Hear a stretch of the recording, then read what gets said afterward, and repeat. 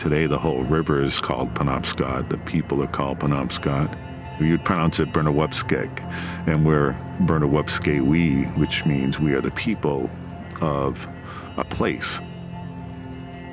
These are our ancestral waterways, and that river perspective and river view is something that our whole history can be synthesized down to.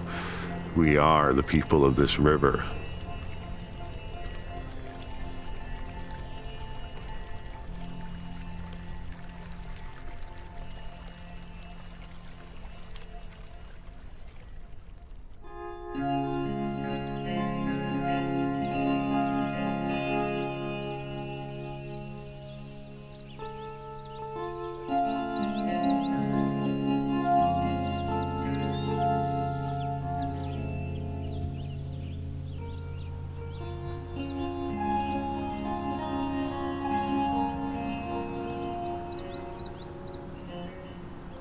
We had an elder in our community. His name is Charles Norman Shay. And he was cleaning out his old family house, and he was in the garage, and he found this old photograph of his mother when she was probably 18 or 19 years old. I realized that she had a collar on, like a traditional ceremonial collar. That's a very important piece of regalia for our community. There were a lot of really elaborate and beautiful collars, and they're symbolic. You know, it's the weight of responsibility on their shoulders. Not only did I realize that she had this collar on, I recognized the collar. And it was a collar that was held by the Smithsonian. When I go to a museum, I am elated and happy and excited and then I'm also like really, really sad and devastated at the same time.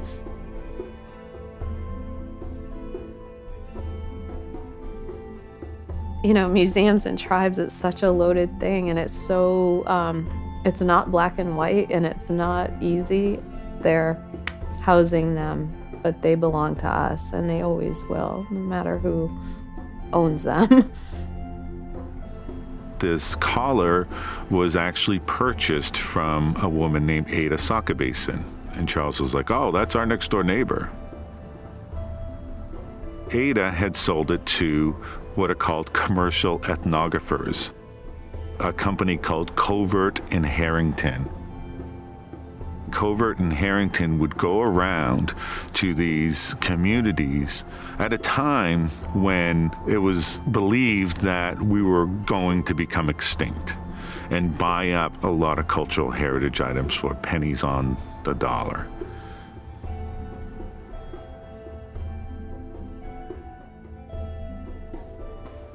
Earlier anthropology was motivated by a very colonial belief that indigenous peoples' cultures were disappearing. They were often being forced to disappear by making certain cultural practices illegal. So there was this sort of push pull where the colonial governments were basically forcing indigenous people to stop practicing their culture at a time when anthropologists then showed up and were trying to document these quote unquote disappearing cultures the rivers were dammed up and you couldn't spear salmon. The landscape had changed, and so someone turns up and has cash and tells you they're gonna keep it safe and protect it. That's the kind of path that this collar took from Ada Sockabasin to Covert in Harrington on behalf of George Heye and became part of the collection of the National Museum of American Indian, the Smithsonian it's so much more than an object to us. You know, it's our culture, and and the thing is, we didn't disappear. We're still here. It feels like so much has been taken away.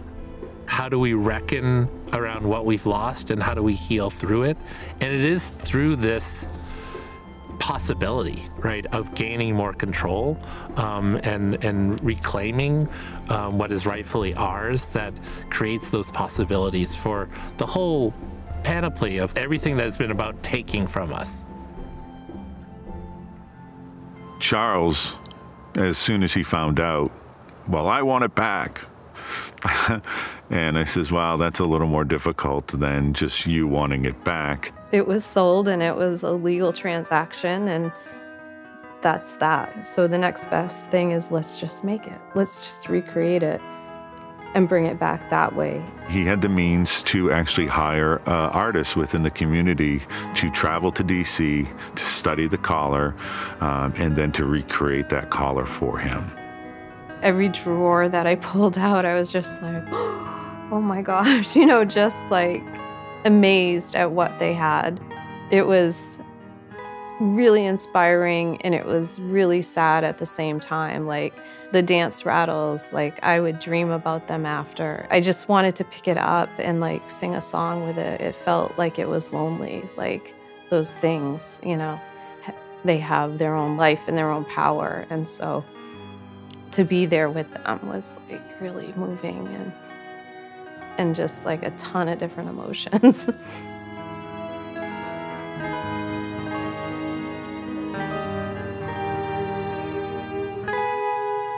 this will be the hardest thing I've ever made by far. It's a big, big project, but I was really happy and excited to do it. And if I can make something kind of reappear in our community, then I think that's a really good thing. You know, the more people that can see these old pieces and old styles, I think it just makes us stronger as people and, you know, to remind ourselves about these beautiful things that our ancestors made.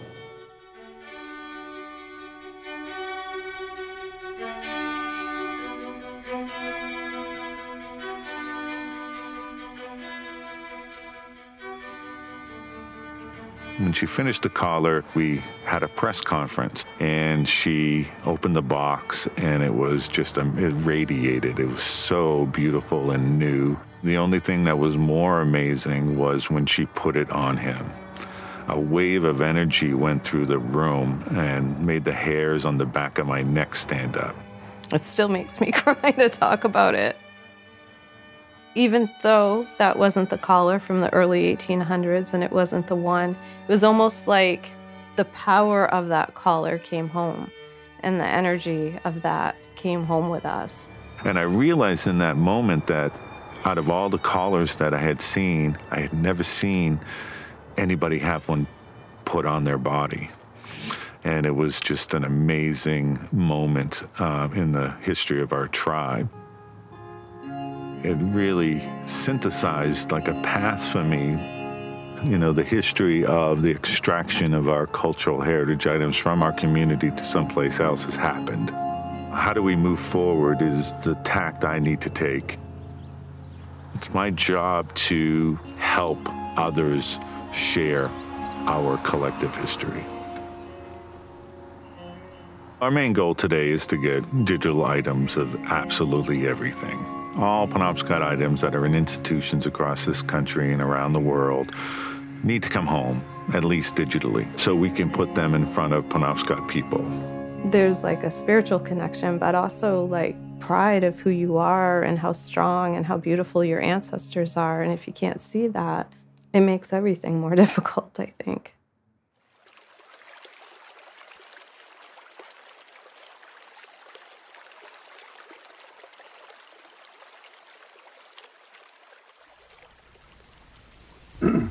following sentences are in English with the equivalent translation in the Penobscot dialect. Frank Siebert was a linguist who worked with the Penobscot Nation over about a 40 year period. I had met Jane a couple of years uh, before we ran into a, a language issue in our community. I got a call from James and he asked me for some help in relationship to ownership of the Penobscot language. Dr. Siebert created our Penobscot dictionary and compiled a lot of information while doing that. When he died in 1998, the word lists and the dictionary and all the field notes that he had went to the American Philosophical Society, not to the Penobscot Nation. So my job became a little bit of a legal forensic work to determine how it was that Siebert had become the legal rights holder over the Penobscot language. How is it that someone came, listened to our ancestors, wrote it down, published a book about it, and now suddenly they're the holders of our language? A lot of people say, well, how can you own a language? You own a language when you write a language down, when you record a language. And if there aren't very many speakers of that language left, that becomes held and owned by the third party who wrote it down. We don't own the legal ownership of those, but they're certainly part of our culture. We were simultaneously thinking about other mechanisms or other tools that could make sure that Penobscot interests and Penobscot authority could always stay with that material. This led to the development of the labels as a particular kind of intervention.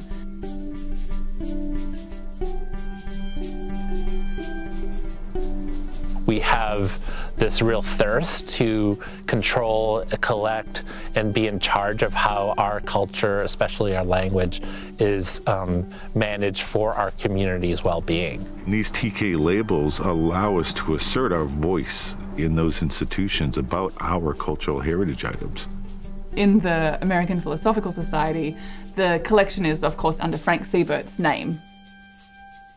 And so the Penobscot Nation want to utilise the attribution labels so that Penobscot name is in the catalogue, not as a subject, but as a kind of author and as having certain kinds of authorial rights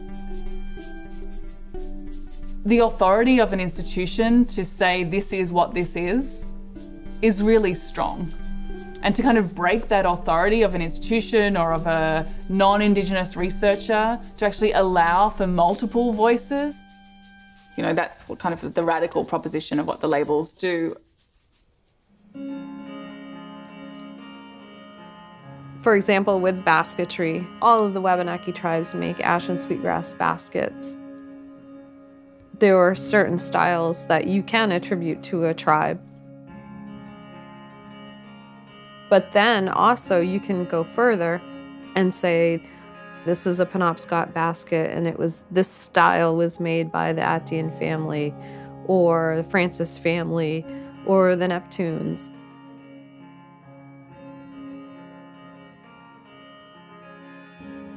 having that level of detail is really important and valuable for us, but also to that institution. Their knowledge is built as well, and it always travels with that object. It's there, it's living there, but we as Penobscots are still responsible for that, that it gets cared for, and that it doesn't lose its identity or who it is or why it's important. Penobscot people get to be the authority.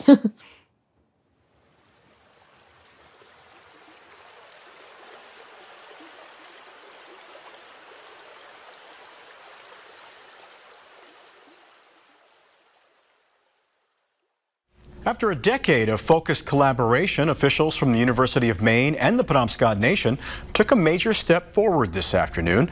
They signed a memorandum of understanding, formalizing the work they've done to manage the tribe's cultural heritage. Officials say among the goals of the agreement will be integrating the tribe's perspective into research processes and implementing Penobscot language on signage on campus.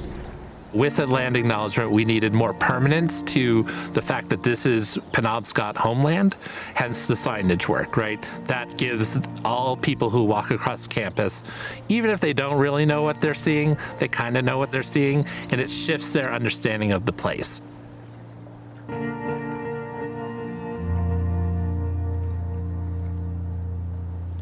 Here's the internal signs. It's literally a transfer of authority, not all the way, where this isn't uh, exactly about repatriating and giving everything back, but it is a, a form of intellectual repatriation. It takes us telling the story, it takes us sharing the perspective. It has to be done um, often in one on one experiences directly with Indigenous people saying, you know, you're hurting me by, by doing the thing that you continue to do. By recognizing a kind of role and responsibility in our territory. The University of Maine knows that it, it has certain kind of duties and responsibilities. And I think, you know, to me, that's us pulling them into our cultural sort of frame. A lot of this work is about correcting past mistakes, but also giving Penobscot Nation more control over our, our heritage items as well.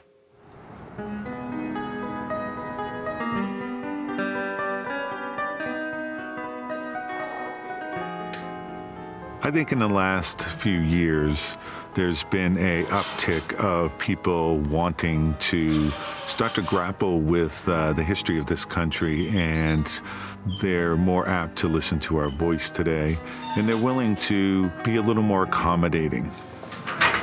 Here we go.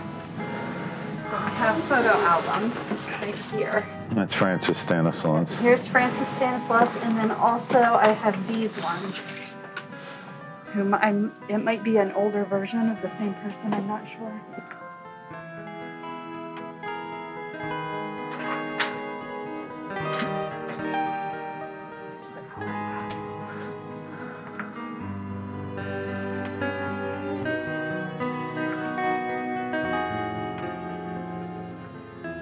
And I think these clothes I have, the pants and the shirt, I believe.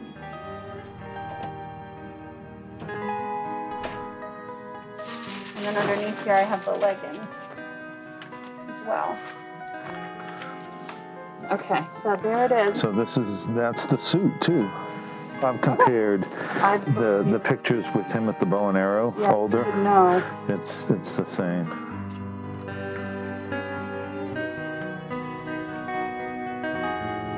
The Hudson Museum has digitized the Penobscot collections as well as the Abbe Museum in Maine.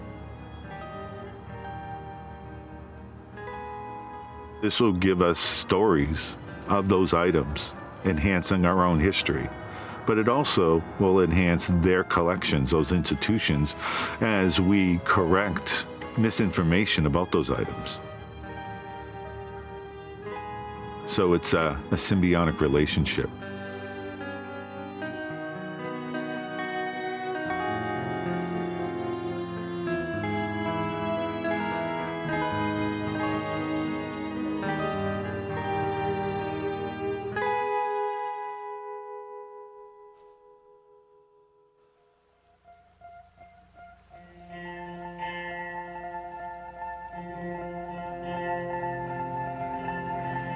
For hundreds and thousands of years, my um, ancestors have been, you know, tromping around sort of wetland areas like this near rivers and taking the best ash trees to make baskets out of. Our ancestors were able to survive because they knew how to prepare this tree to make baskets and how to go to the coast and pick sweetgrass and you know you have this strong cultural background you can draw on and you have ancestors that have your back and always will. That's traditional knowledge. And it is something that is vital for the survival of a distinct, unique people.